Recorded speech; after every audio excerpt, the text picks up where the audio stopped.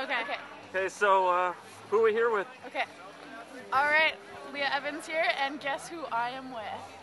who are you? Tatum Monod. Oh, Tatum Monod. This is going to be a very popular name because look what she's holding. Big old gun. Yeah. This, my friends, is the North Face Young Gun Award, and Tatum Monod has just received it. Nineteen years young, skiing beyond her age. So, Tatum, we really want to know how is it to free ski? Amazing. Uh, since I quit racing, haven't looked back. Having a great time with you girls. The vibe is just awesome. Everybody's friendly. I'm loving it. Having the best time. So, Tatum, we want to know where are you from? Where did you come from? I came from Banff, Alberta.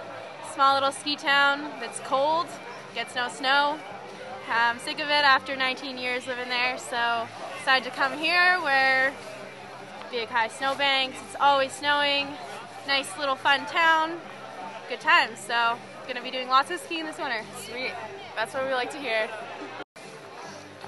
So, your first free ski comp, what what did you learn?